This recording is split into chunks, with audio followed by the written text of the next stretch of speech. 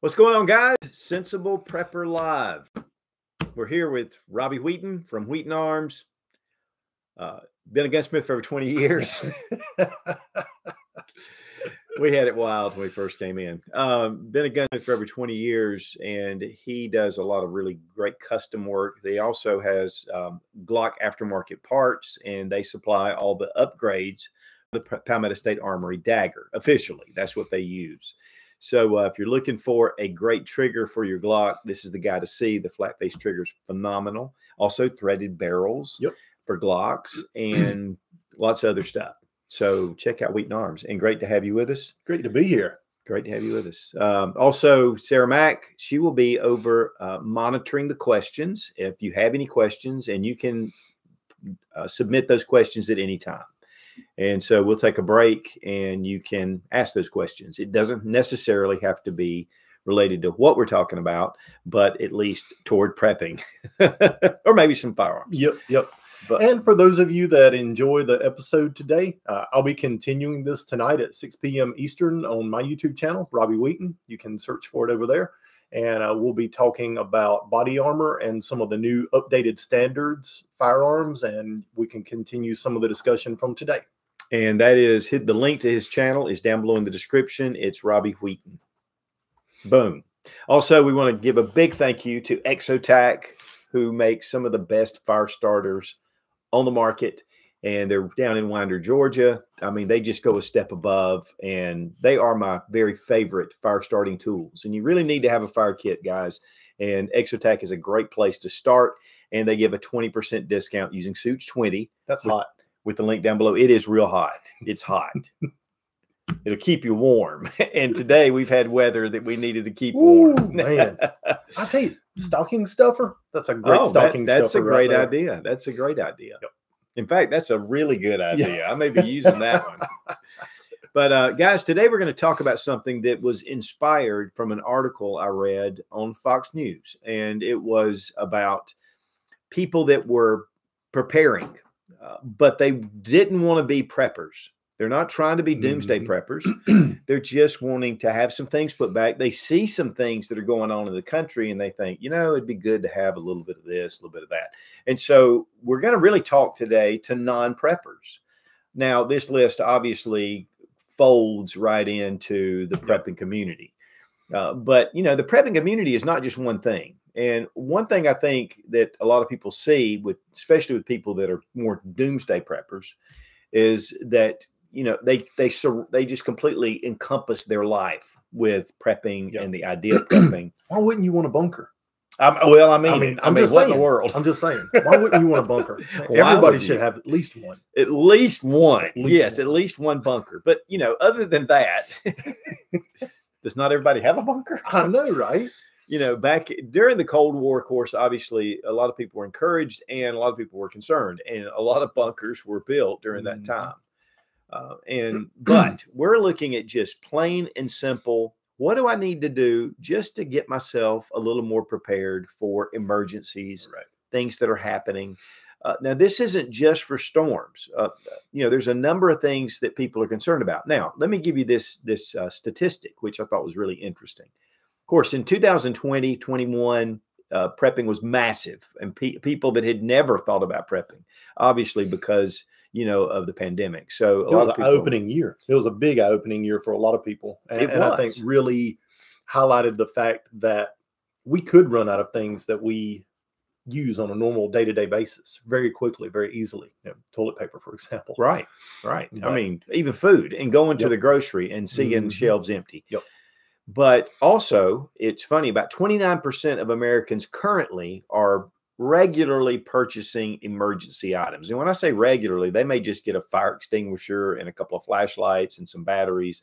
You know, I mean, it, it's a pretty generic uh, and pretty wide open category, but still about 29%. So one in three are actually thinking about preparedness. But what's interesting is, is millennials when it comes to them, it's 39% of millennials are thinking more toward being prepared, having some supplies on hand. Gen Z is 40%. So the younger generations are actually thinking more about preparedness mm-hmm. than you know the the older generations. Well, the baby boomers are thinking about retirement. The Gen Xers are thinking about putting their kids through college. so you know, there, there, I think there's different there's different priorities for for different groups of people. Right. And two, a lot of times with millennials and Gen Zers, they're not their kids haven't quite or they're just getting into some sports and right. things. So they're they're kind of taking some steps to uh, to think about it. But you know, you look around the world and it's definitely, you know, interesting to say the least. Mm-hmm. I mean, where whether it's war or possible war, whether it's definitely another type pandemic, whether it's, you know, we're, we're looking at our power grid right now, there's some concerns about that. Yep. And then they grew up with civil unrest and with governmental or political problems and, and you know, a lot of confusion. Well, you know, you think about it, a lot of your millennials or which which ones are older or which ones millennials? Are the, the, Gen Z is the youngest. Okay, so the majority of your Gen Zers have grown up with our country being at war. Yeah, it, eh, with Afghanistan. That's and, right. And but it was a war far away, you know, and yep. and now we're we're getting more into hey, we may be facing Russia, we may be facing China, Iran. Look at what's going on in Israel. Mm-hmm. But the the fact is, is it, it's just smart to be aware that the world is not a you know a bed of roses and you know there was a song by bon jovi it said i want to lay you on a bed of roses but uh, you're putting me on a bed of nails and so you know the thing is is to be aware one thing though that uh, and i do want to mention this is a lot of times with prepping and, and it's become a a, a byword a lot of times or you know survivalist or, or whatever you want to put in there because they look at those people as being consumed and obsessed, uh, which you can be. And I just want to encourage you guys. I mean, if you're watching this channel, you know, typically you're interested in preparedness and uh, survival. Don't get caught up in the it's too late. Don't ever get caught up in that. Don't get caught up in it's, you know, the world's coming to an end, it's doomsday or whatever. Now, be aware of what's going on monitor what's going on and don't just say, well, everything will work out because it uh, doesn't always happen that way all throughout history. Uh, we've had a very great run at prosperity here yes. in the U.S. Yes, we have. But there are there are problems ahead, and we need to be aware of them. Uh, the economy in itself is something that a lot of people are very concerned about. Yep. So, first off, we just want to talk about some basics. Now, these are things that people will do that aren't necessarily prepper. It's just things they're going to use and they just want to have some extras. Yep. And so we're going to kind of look at it that way. This again is not about prepping. It's just being prepared. It's about being prepared. Yep. Just like the Boy Scouts. That's right. And you know, the Marine Corps. That's they right. were just prepared. Just prepared. You're, you're ready for whatever comes your way. They're ready for it. And you know, that's the real essence of being prepared mm-hmm. is to mm-hmm. kind of give yourself some tools and then just be prepared and say, hey, if this happens, you know, we've got some time. And yeah. honestly, all this does, you know, whether it's stocking up on supplies or whatever your food, water, whatever, is that you're giving yourself more time. You can't do it all you you can't unless you're going toward the homesteading, which mm-hmm. to me a lot of people are, and I think that's really the the, the true end to really being a true prepper. Well, I think that's what's driven up land prices across the country is more people, more and more people realize the importance of homesteading and providing for themselves and not being reliant on someone else to provide their their food and everyday everyday needs for them. Right. Well, with transportation, yep. you know, you've got to get that food to where you mm-hmm. are, and if you have that food right there, you're growing. Yes, it's a lot harder, works a lot harder, but you know, it is something that I think if you are a true prepper and you've got stockpiles of stuff, I think the best thing to do is to kind of start thinking about moving toward more of a homestead type mentality. Okay, so uh, we're going to go, we're going to kind of hit some, we're going to take a break, and we're going to, so if you have your questions, please feel free, and we'll get to the ones we can. Uh, so first off, let's just talk about food. That's one that you know a lot of people are concerned about, and rightly so. It's my favorite. it's my favorite. I love me some food. Food is the favorite. uh, you know, and in the rule of threes, you can actually live three weeks uh, generally without food. Uh, and so food is vital. Food's important. It's going to give you energy. It's going to keep your morale up. Yep. It's going to keep you thinking instead of just being hungry and making rash decisions. So, uh, a lot of people, though, what's in their pantry is just kind of what they're using on a weekly basis. Right. And they're kind of going through it and they go back to the grocery store and, and they're using those things. So first off is is food, is making sure that you have some extras. You know, I would highly recommend a month. Now, two weeks would be good but a month is really where you you know would be a great place to start to be more prepared. Well you know one of the big things with with me i love fresh fruits fresh vegetables fresh meat. So you know I, i'm at the grocery store three or four times a week getting fresh vegetables and fresh fruits. But when I go to the grocery store to get my fresh vegetables and my fresh fruits, I'm still getting long term food supplies as well dried rice, uh, dried beans, things that I can store up and put back in case I need them. Well, you know, and we I've been big about canned food for a mm-hmm. while. And yep. you know, the thing is, is it stores forever. It'll mm-hmm. last forever. And it's something you can put back. You know, we could get into, oh, you need to start canning and dehydrating. That's not where these these new preppers are right. are people that are trying to be prepared. Yep. So you know, just getting those basic things that you're already doing, mm-hmm. but thinking a little bit of long term. That's right. In in the process, and going, you know what, I don't. I'm going to have some Dinty Moore beef stew, and we'll just put some of it back, which it's not bad. Well, and here's the thing: you get a a snowstorm or a thunderstorm, or, or like the people in Tennessee over the weekend with a tornado Right. You know, their their power grids down and they're talking about their power being down for weeks. Wow. And you know, that's that's a SHTF situation for those people that live there right now. And you know, they're having to look at their meals, their meal plans, how they're going to cook, what are they going to cook? Uh, a lot of them, where are they going to live because their homes were destroyed uh, or the roofs were ripped off of them.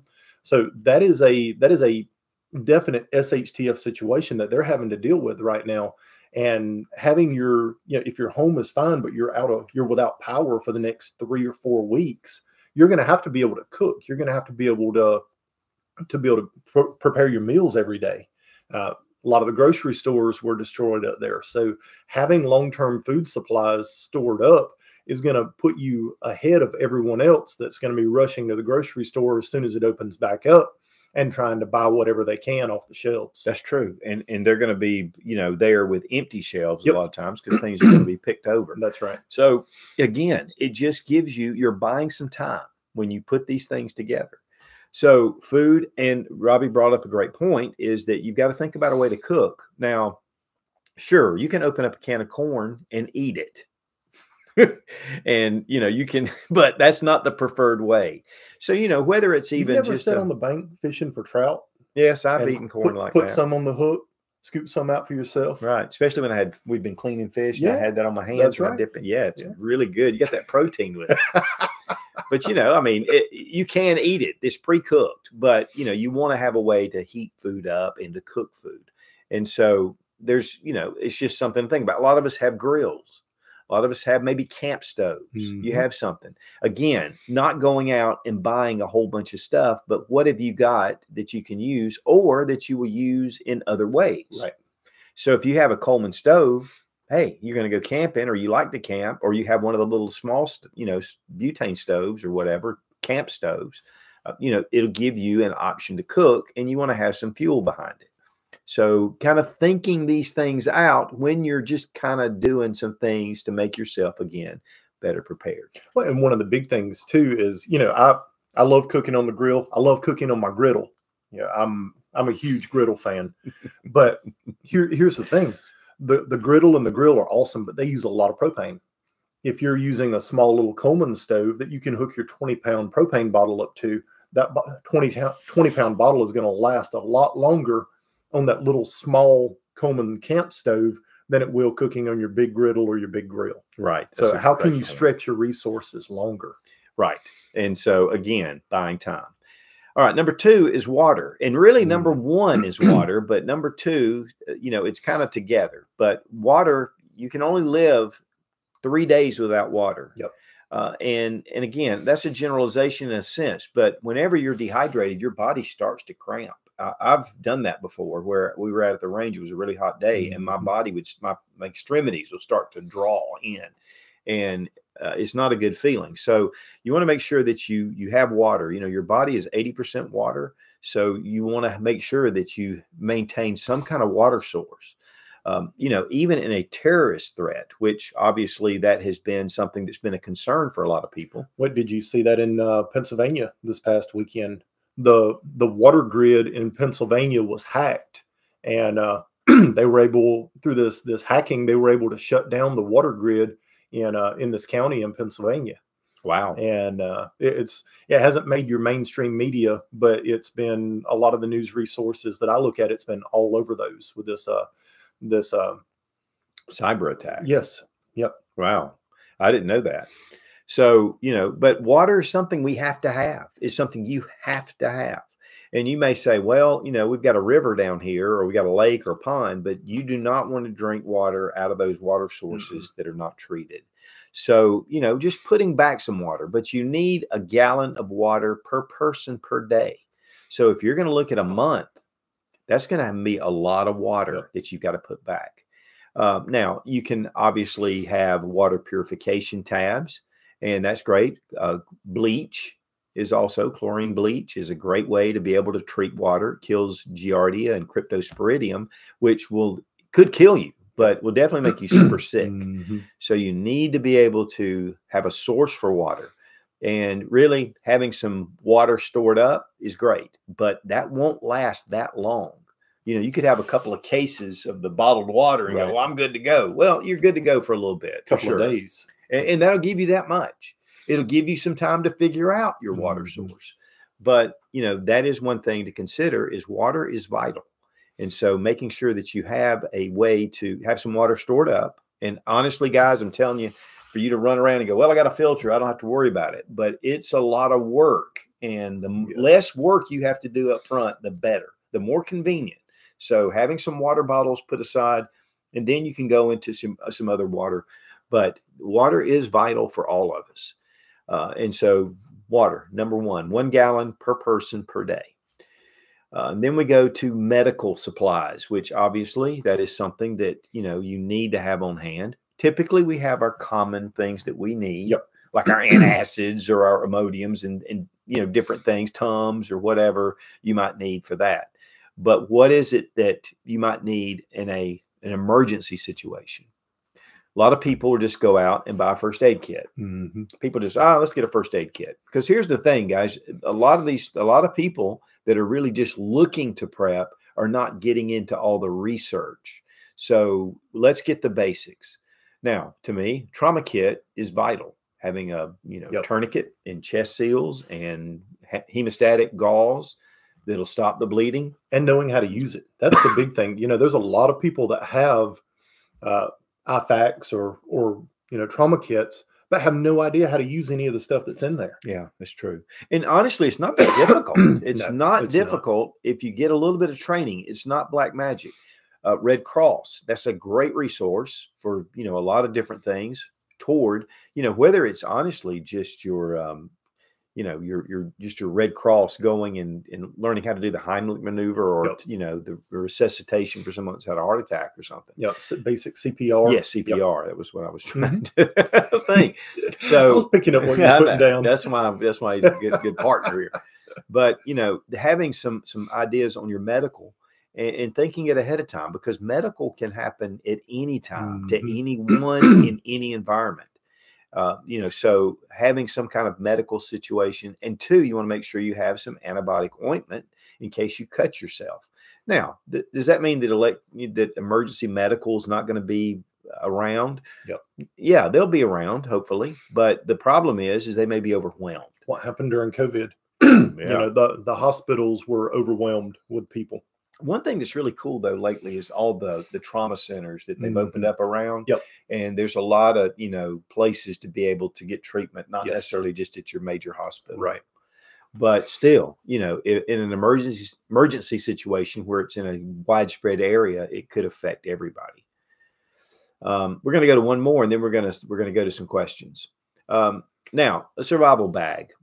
Now we call them bug out bags, get home bag. You know, we have all these terms for it, but just a basic survival bag, something that just has some emergency supplies in mm-hmm. it. It has maybe a change of clothes and some socks. and you have these things put aside. You have a way to start a fire if you need to. But here's the thing about fire, guys, and this is one reason why this is so important.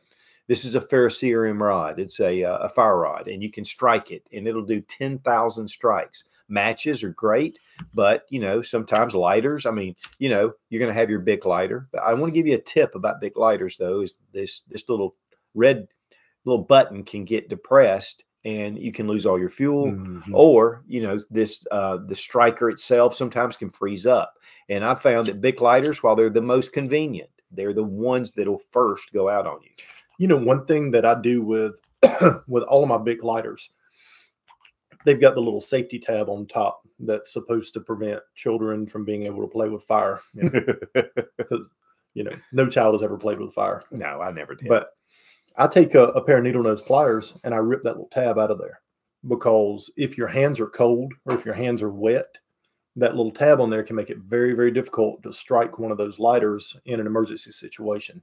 So I tear that little tab off to make it easier to strike the lighter. Right, right. That's a great idea. But you know, having some lighters. I, when I go to the grocery a lot of times, or I'm in a convenience store and they have mm-hmm. a little mm-hmm. pack of lighters, or they have one of the torch lighters, I'll pick one up and I put it away. And having just a way to start fire. Fire will cook your food. It'll boil your water if you need to drink it. Uh, it will, and that's one thing too about it is it you can boil water to make it drinkable. Only thing is, it takes a lot of energy. It does, you know, whether right. it's wood or propane or whatever, and it will give you heat. It'll give you light, and it will keep predators at bay and just be a more general morale if you need just having a nice fire. So fire kits are very important um, and they can go out. Uh, but also a not a good fixed blade knife, or at least a good sturdy knife. Uh, having something that you can do where you can create some fire tinder to get your fire started, to clean something if you need to cook, cut something, whatever. A good knife. Uh, paracord is a great thing. There's so many uses with paracord. You can set up a shelter. Uh, you know, with even using just materials wherever. I mean, you can put logs together and tie them down and build yourself a shelter. So, having just some basic survival things, and of course, obviously, a medical kit would go good in there. Um, and then your your regular you know hygiene items yep. and things like that. And you know, for me, one of the biggest things with with a fixed blade knife that's in my survival bag I want whatever fixed blade knife that I'm carrying to have a guard on it to keep my hand from being able to slide up onto the blade. Yeah. If I'm if I'm stabbing something, if I'm cutting something, the number one thing that I want to do is protect myself and keep my hand away from the blade itself. One of the worst things that could happen to you in a survival situation is a really bad cut. And you know, you could potentially cut ligaments and tendons and which would require you know a trip to the hospital and surgery. And in an emergency situation that's that may not be an option. Right. So a good guard that's going to protect your fingers keep your hand away from the blade itself while you're cutting things I, I think is one of the most important things that a good fixed blade knife can have and I'll just tell you guys, reviewing knives for years, mm. I have mm-hmm. cut myself over and over and over. Uh, I mean, it is so easy to slip. And so, you know, be careful with a knife. And that's the thing about a hatchet. Yep uh, you know, having a hatchet, you may want to have a saw. Saws are really great because you're not as out to, to hit yourself or cut yourself. So having these items, just some emergency items in a bag. Now you can buy these pre-made, but I recommend that you put your own together because you just get better quality stuff. Well, you know, it's kind of like buying a pre-made AR-15 you get it it's your first AR and you love it for a little while, and then you you're like, well, I don't really like this butt stock. I don't like this grip. I don't like this muzzle device. I don't like this trigger. I don't like the sights that are on it. Next thing you know, you've changed out everything on the rifle except for the the upper and lower receiver and bolt carrier group. Right. So you can, and then you end up more expensive than what you would have been if you would have just built exactly what you wanted to start. Survival bags are the same way. Build it out with what you want in it and what fits you and your needs. But you know, the thing is, is the truth of the matter is somebody that's maybe just unexperienced, mm-hmm. has no experience. They're just they may go and buy a, a some bag, and and we've done I've done some reviews on those type bags, those pre-made bags. If you that's what you do, then when you get into it, and I highly recommend being familiar with it, then take the items that you don't. And of course, obviously, it's going to be more expensive, but Mhm. uh, you can add those items in. So, you know, there are different ways to look at it. I agree, though, with what Robbie said completely. but you know, the end of the day, even a, a pre-made bag is still better than nothing. Exactly. Exactly. Okay. If we have some questions, we'll go to a few and then um, we'll, we'll continue on. Uh, Bert asks, question, should I buy a couple of cheap ARs or should I, I buy a couple of high-end ARs? Funds aren't a problem. Oh, well, I mean, this is the thing about an AR, and I'll let Robbie expand on this, but the the barrel and the bolt carrier group are the heart of the rifle. That is the most important part. And sometimes with the frou frou stuff you get on there, I mean, you can buy a $3,600 AR, or you can buy a Palmetto State Armory AR that's really good quality. I mean, the bolt carrier and the barrels, they have hammer forged barrels in some of their They some do. of their models. from FN. Yeah, Yeah. I mean, those are excellent ARs. They will serve you just as well.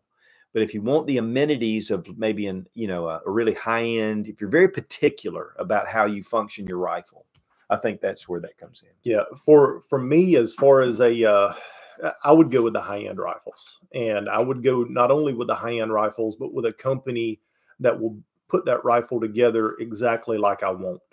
The kind of buttstock that I want, the kind of trigger that I want, the kind of muzzle device and free float handguard that I want. That way, when I get it, it's exactly what I want.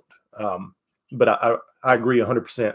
A great barrel is imperative. You know, if you're looking at it as a defensive rifle, look for something with a chrome lined hammer forged barrel, uh, either the FN barrels, uh, BCM barrels, Daniel Defense barrels. Those are, I think, some of the best on the market.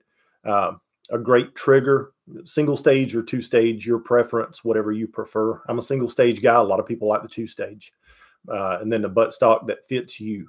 And free float handguard that is going to allow you to attach different uh, accessories and then a muzzle device that's either going to help reduce recoil and muzzle rise or that's going to be able to allow you to attach a suppressor to it. Right. So it's really kind of two different ways to look at It it. is. You know, I mean, if you're very experienced with an AR-15, that, that's to me, and, and I am, I'm very experienced. Yep. But if someone just comes out and goes, you know what, I just want a couple of rifles, I, I think your basic rifles, and for those who don't have the funds to Right. do that, I think it's important to, you know, if you can buy, but don't buy a cheap, the cheapest thing you can find out on the market. But I will say, and I've been down to Palmetto State Armory, which they're some of the most basic budget friendly ARs on the market. They do a fantastic job do. with their barrels and their bolt carrier groups and their mil spec. So the, the reason why their prices are so low is because they sell direct. Direct to consumer. Yeah, Yep. and that's the big thing. But you know, either way, I think it's more of just your preferences. If that's important, triggers are very important to me and Robbie. Very important because we've had a lot of experience and we know about we can get better accuracy with a good trigger. But uh, but yeah, I, I think it's you know, I, I think if I had the money, I would go with the better rifle. Mhm. Uh, Anthony Tawes asks, love to hear some advice, pros and cons on property, land, home purchases for preppers and gun enthusiasts. Well, let me. I'll tell you because we've we have a piece of property here, but we have we've been looking for a bigger piece of property, and and so is Robbie. We Yep. they've been looking, and, and yet we've stepped back a couple of times and gone, ah, let's do with what we have because we do have some potential. But a couple of, of cautions with property, especially if it's out, way out, and it's one of the things that happened with the economic collapse down in Argentina, which I went ahead and brought this book out because I knew I was going to mention it uh, the modern survival guide for the coming economic collapse. This was written about actual events that happened in Argentina. Excellent. There's a link down below in the description to help you find it. But um, one of the things that Ferfal said, who wrote the book, is that people that had cabins and bug out locations and they had them up in the mountains because they saw the writing on the wall. Mhm. Well, they went to those locations and gangs and cartels and everybody else followed them up there and stripped them and killed them, raped, murdered, whatever. So, you know, unless you have a very good security team, and it's one of the things we're seeing down in South Africa right now with the farmers that are out in the middle of nowhere, and these mobs will come and they'll kill the farmers and take the property. So, if you're way out in the middle of nowhere, you better have a a group that is willing to stand in together. Mhm. Uh, one of the things they do in South Africa is they have these reaction teams. And so the local farmers, they can make one call and this team will come together and they'll come to their aid. So just one big thing to consider when you're we're thinking about bugging out, because let's face it, there is nowhere that's safe from crime, especially with our drug problems, because you've got drug people that are on drugs in every city of every state in the Yep. country. So I would, but also look at your property and see if it's it's defendable, and, and maybe the neighborhood. If if it's a good neighborhood or people that do live around you, can you work with them and and work together? And what type of soil does it, you know, on the, you want to know what type of soil it has. Is it the soil conducive to growing crops? Is the soil conducive to raising animals on it? Do you have a water source? Uh, all of those are, to me, really important things when you're looking for a piece of property. If it doesn't have a water source on it, I, I, I wouldn't even consider it. No, Um, if or at least something right nearby. Right, right.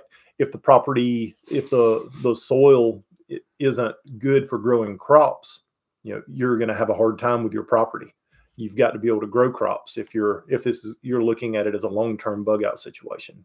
One thing we were looking at one piece of property which we were really thinking about buying, and there Mhm. was a uh, a railroad track on one of the borders of the property, and we were noticing that we noticed it later, and we were like, wait a minute, if that's a railroad track, you know, what kind of chemicals are traveling on that track? Mhm. What kind of maybe even nuclear waste because there's a nuclear power plant in South Carolina Yep. that could take waste right up through there. What if there's a derailment? So there are things like that to really research and make sure before you do purchase. Yeah, interstates and highways. What's the the closest big road to your property? How easily accessible is your property to other people? What kind of neighbors do you have around the property? You know, before you buy a property that has other people that live around it, go and meet some of the people that live around you and see what kind of mindset they have, right. and see if it's, you know, if they would be good people that you wanted for neighbors, or if there's somebody that that you wouldn't want for a neighbor. Right. Let's go for one more and then we'll continue. Uh, T. Isley asks, "What are your thoughts on antibiotics and medications for SHTF, and are mm, animal meds and antibiotics safe for humans?" Yes, um, most of the antibiotics that are uh, being produced are can be produced for animals as well, uh, and they're on the same lines. A lot of times, they even have the same Mhm. markings. They're just marketed differently. Uh, now, but here's the caveat: uh, you can you may be allergic to certain antibiotics. It may be an antibiotic that doesn't treat what your problem is. So, uh, my wife's an RN, and she is for 20 years, and you know she even can do research but you've got to do a lot of research and then what is your ailment you're self-diagnosing yourself so you know it can be there's a lot that's around that uh, one thing that we do is colloidal silver we've been doing that for years and it's a really good antibiotic and it does a lot of stuff and for us i'm not recommending that because if you do youtube will shut us down but um it's one thing that we've used. It's used in the medical industry uh, in a lot of different areas.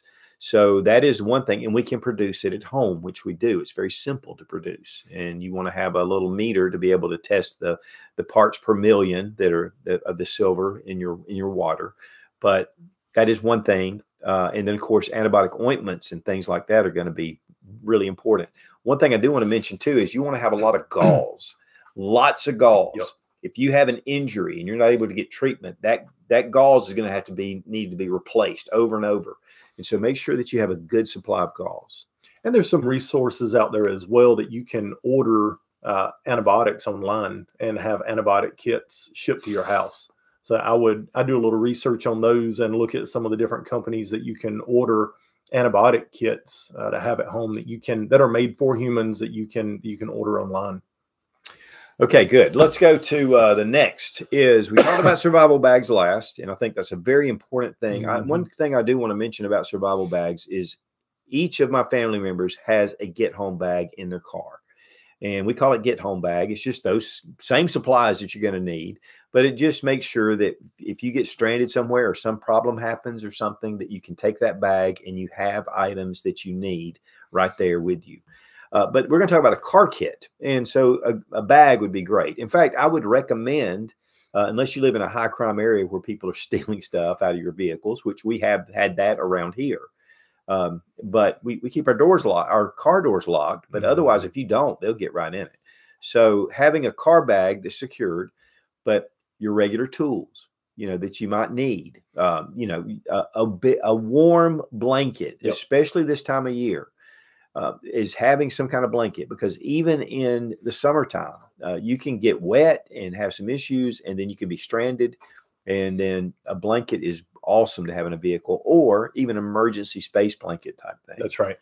Uh, a good pair of boots is something that you need to keep in your car kit. And you know, this time of year it's getting colder. Ba- jumper cables. Jumper cables are a big one.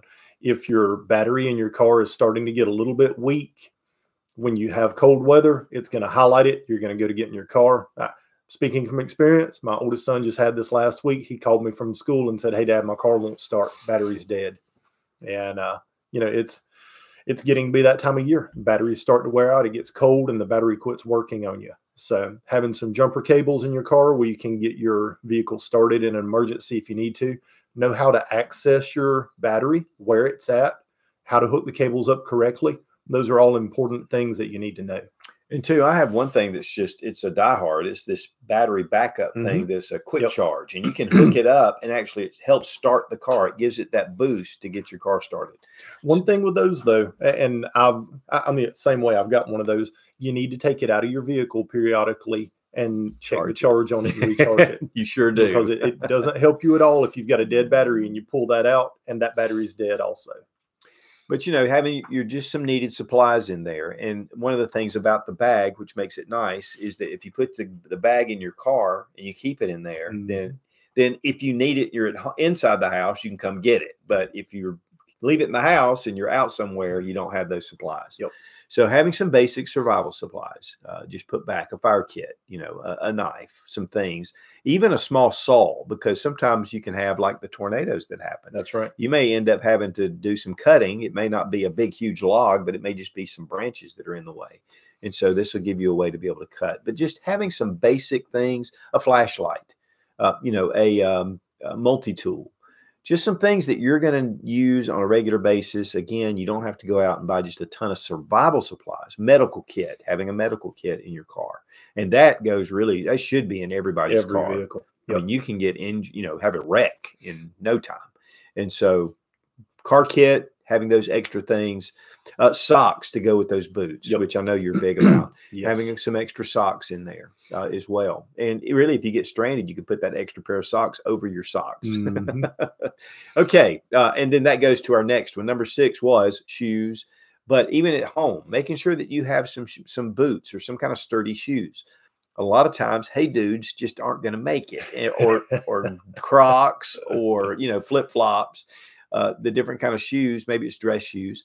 Make sure that you have a good pair of sturdy boots or shoes Mhm. uh, in case you need them because you need to preserve your ankles and getting over debris and any kind of thing like that that you might need in an emergency situation. And, you know, I've been a big fan of the the Merrells for Yes. decades, and uh, there's what I'm wearing right now. But Yeah. they are they are one of my favorite pair of outdoor hiking shoes, and uh, I take them and Scotchgard them really really heavily two or three times so they're waterproof and uh, you know keeps the water out, keeps them from getting stained and everything, and it helps them to last quite a bit longer. But it keeps your feet dry, and that's important. it does. Yes, it does.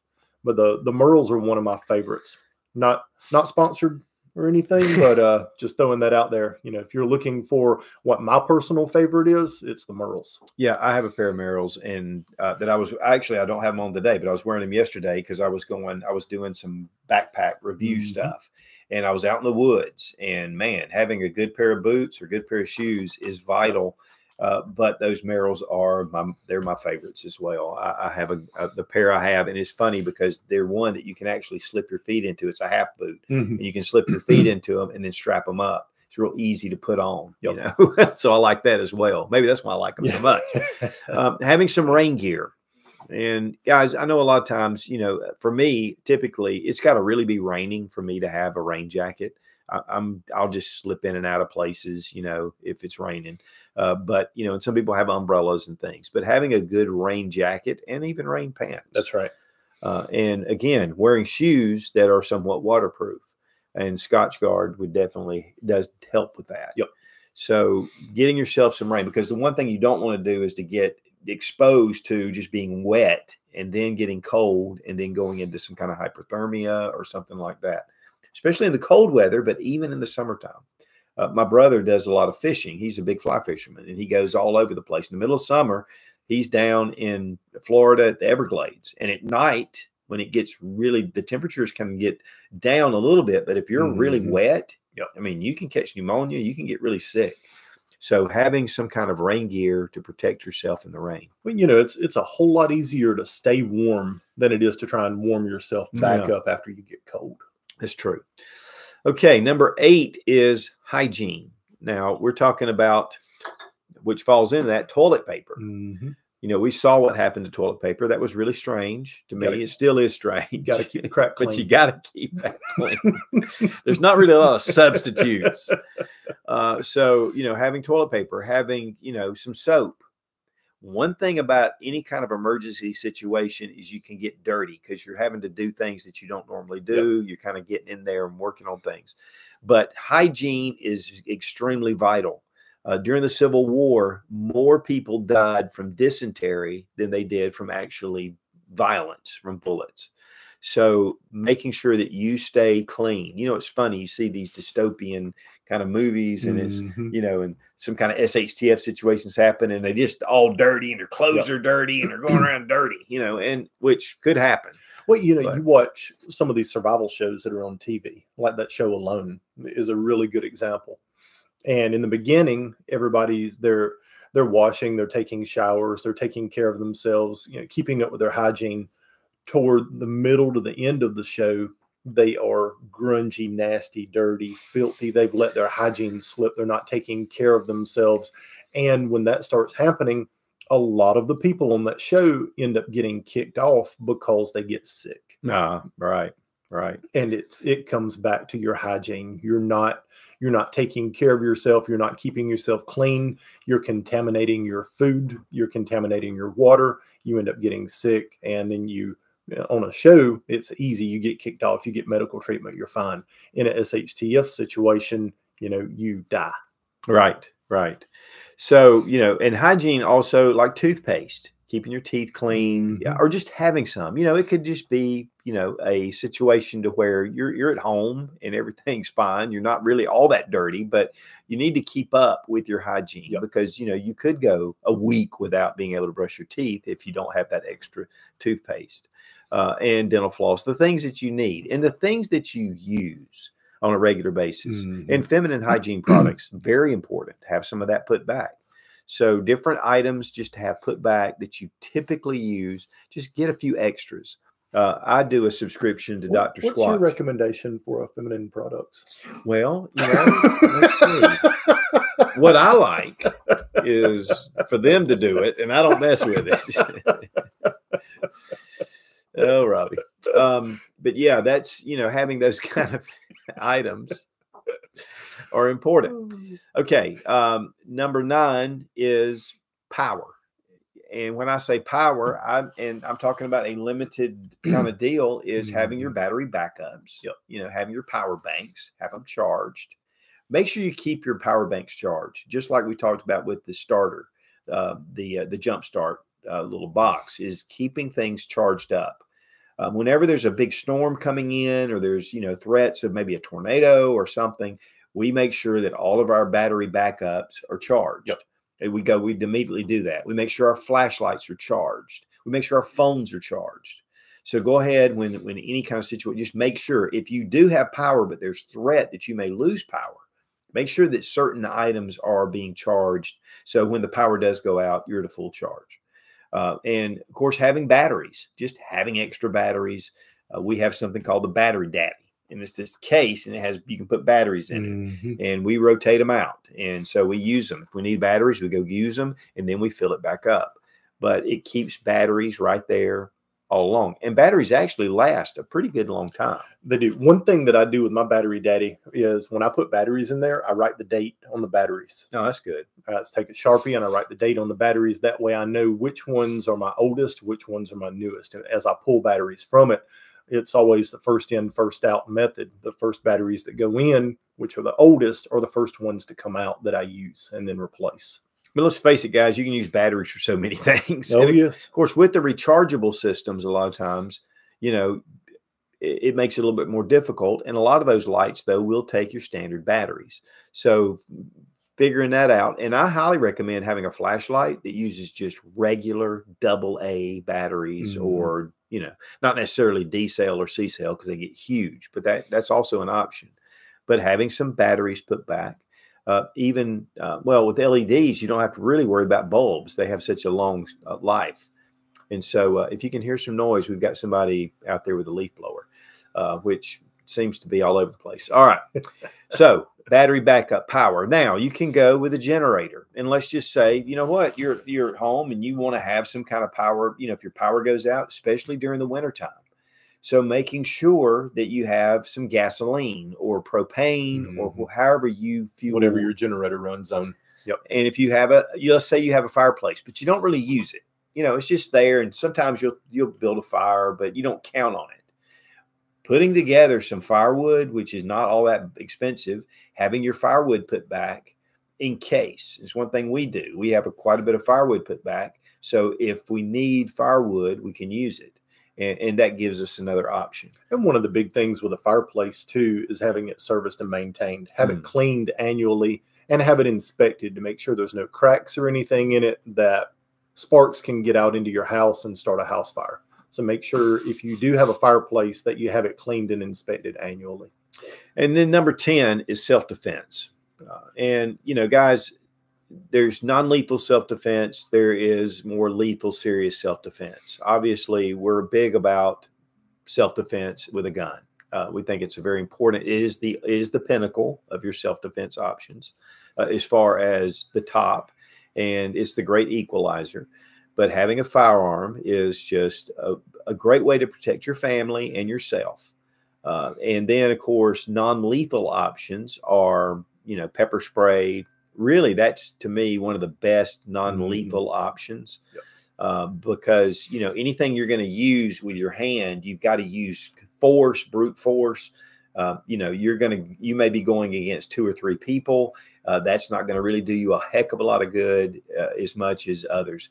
Uh, or you may want to get into some martial arts classes or some fitness classes uh, which you know that again takes you out of your norm possibly Well, that's one of the big things, whether it's uh, lethal force or non lethal force, whatever you're using, get the training so you're proficient with whatever tool it is that you're using. right and self-defense can happen at any time That's right. that can be again a personal shtf situation being robbed being mugged being attacked you know that can happen so uh, but and then also if you do have a firearm make sure that you do have some adequate ammunition and cleaning supplies so you can keep it maintained but then you have the extra ammo. We've seen this over and over where there's political situations that happen and all of a sudden the shelves disappear of ammo. So make sure you have a couple of boxes at least. Um, obviously i would recommend you know at least a thousand rounds but realistically if you're not a you're, you're new to firearms or you just happen to have one that you keep in your closet or whatever and maybe the only ammunition you have is what's in the magazine or what's in the cylinder. Get you a couple of extra boxes and take it out and try it. Go out and just shoot it. And it, it can be a lot of fun Mhm. but it'll also give you an idea of how it's going to react to you know when you have to shoot it. If you are if you have no experience it's very important to do that. Okay if we have a few more questions we'll we'll take them Uh, Gary Hernandez, self defense and urban survival. Gary. Ask, hello, gentlemen. My question is: If you own one, do you carry with you a bulletproof backpack? Thanks. One thing I do is I have a panel, and it just stops handgun ammunition. Mhm. But I do have a panel that I keep in my backpack, and I also have one that I keep in my computer bag.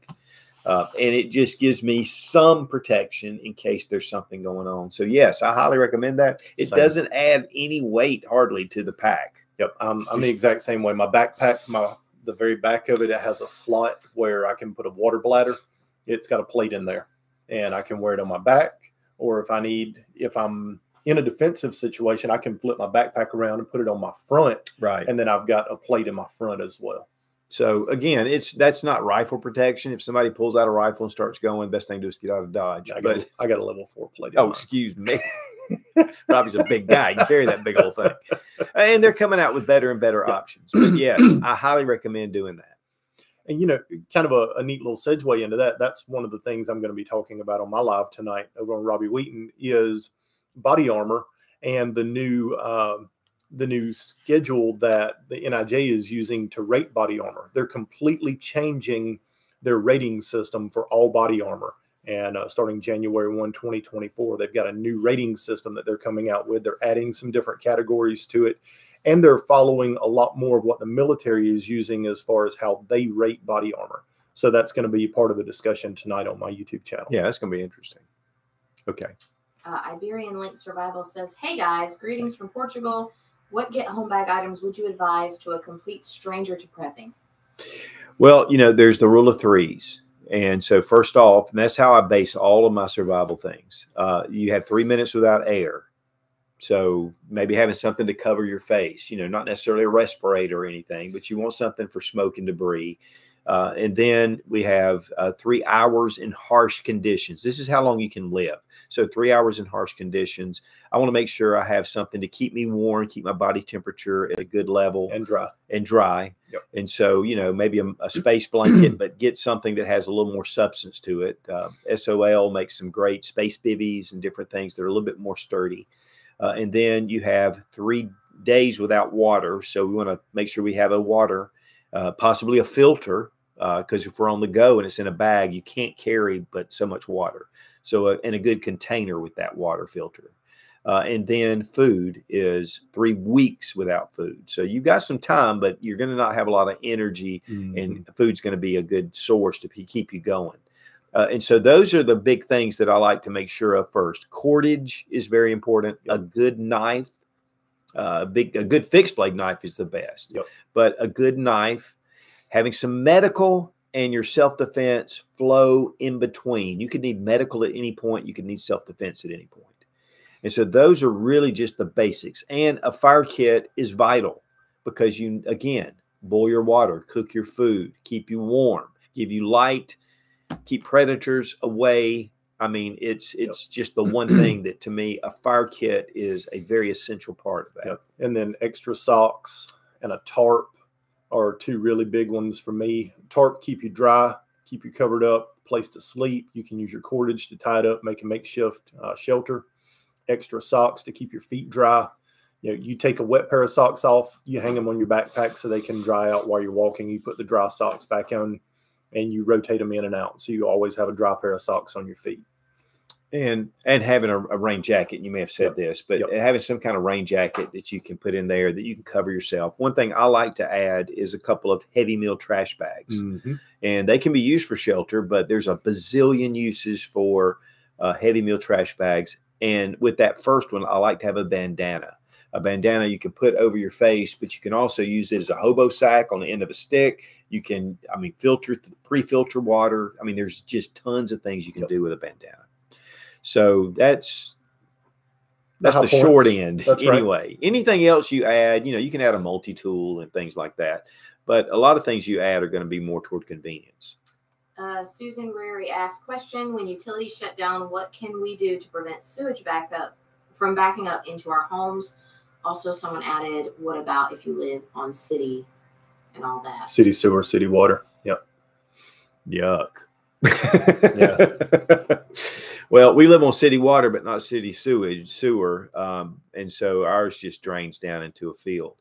Um, wow, you know that that's that could be a problem. You know, one thing I think, and yeah, I don't know how you. so what if you you've think? got if you've got a uh, if you have a septic tank one of the big things you, that you need to make sure is that you keep it pumped out on a regular basis um, household of four you need to have your septic tank pumped every six or seven years and it it can vary a little bit depending on the size of your tank and and how often it's being used.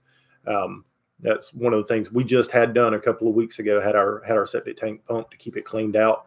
Uh, but if you're on if you're on city sewer and everything everything stops it's not pumping the the waste away like it's supposed to uh, really you need to have a shut off under your house to where you can shut that valve and prevent anything from coming back in now it's going to prevent anything from going out but if you don't have um, if you don't have the pumping system that's flushing those those lines, you need to have a shut off valve to keep anything from coming back into your house. And then you're going to have to look at an alternative method for disposing of your waste. Yeah, that's that's definitely we, have done some stuff about um, about waste outside of because you need to maintain that waste and you yep. need to be careful even with trash.